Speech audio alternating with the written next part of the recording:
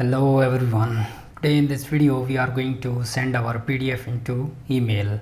So if you are watching it uh, from the email series or you can also watching it uh, from the pdf generator series this video is for you. So this uh, guy itsolutionstuff.com written a very well article on this how you can send the pdf into the email. So let me open the stuff here so you need to first install the project and then you need to fill the email credential into your env file. So i already filled these credentials into the env file which is used to send an email right? So if you are familiar with this one if you are not you can check my laravel email series where i am starting it from the scratch that how you can uh, create your account and then get the credentials into credential and save them into the env file. So it's full-fledged series. And then you need to prepare uh, one route and uh, this route is responsible for generating the pdf file. Okay so in the previous videos we are generating the pdf file and saving this into our local pc right and uh, let me go here. And now this one is used to send our email into the um, send our pdf into the email. So it's a little bit uh, tricky. Why i'm saying uh, saying this is tricky? Because server allow us to perform only one operation. Like you can download a file or you can redirect to your user.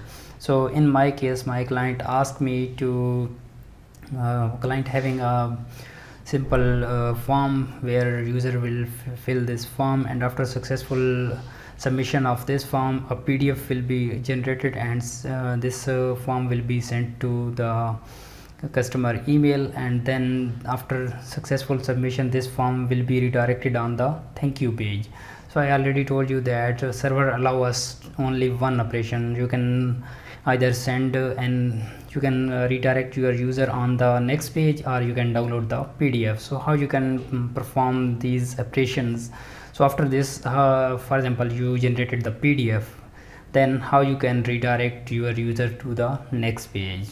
So if you did this so how you can send this email to your client so it's little bit tricky and uh, now it's very simple. So i find this solution and i'm sharing it with you okay let's open the project and uh, copy this stuff from there and go to our project to back and add this script here. So first we need to update our email.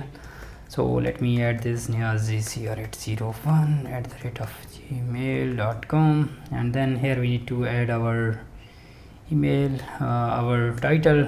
So this would be uh, career development lab so this is our youtube channel name. So let me add this from here from and this is one is body is good.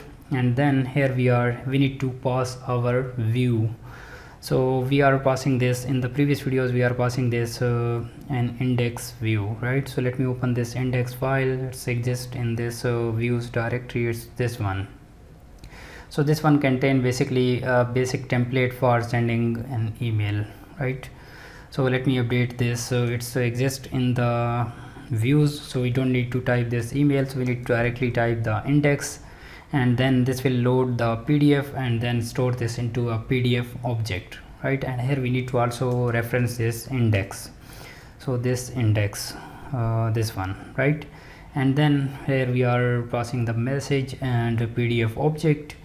And here we are grabbing this email right and this email. So if we if you remove this email so you can uh, it's totally upon you you can remove this email object from there.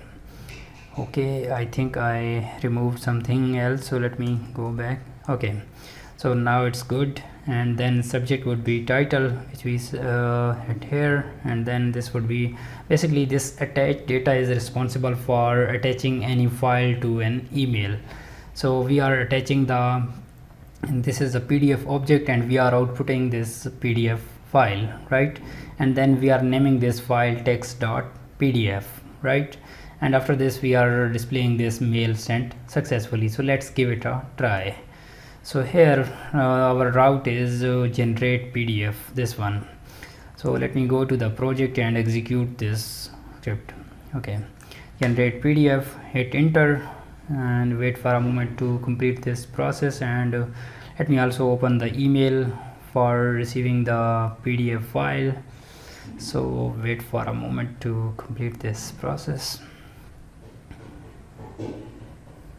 Okay it says that mail sent successfully. So it means that our mail is sent successfully and this cdl where it's coming from this cdl so it's this cdl is coming from env file and here we set this mail from name. So you can name whatever you want. And then this from would be uh, getting getting it from the title okay? And then this would be our template. And we also attach this in email in pdf right? So this pdf name would be text.pdf which we define it in the second parameter of this attached data this one right? So you can name whatever you want. So you can also uh, generate the dynamic name like you can pass the timer objects. It's totally upon you. It's very simple. And now it's generated so we can redirect our user back or whatever location we want to redirect. Okay so let me return.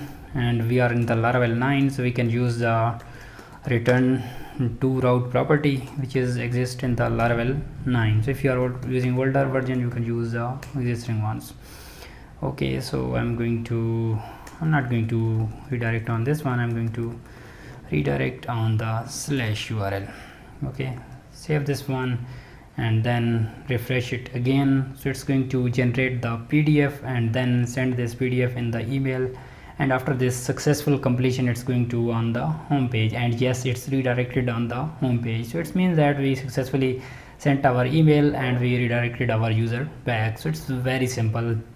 Uh, so hope you get an idea that how you can send the PDF, uh, send the PDF or any other file with the email by using the attached data method so hope you like this video. If you are interested to learn more about the laravel subscribe the youtube channel and stay connected for more upcoming videos. I will meet you in the next one. Bye bye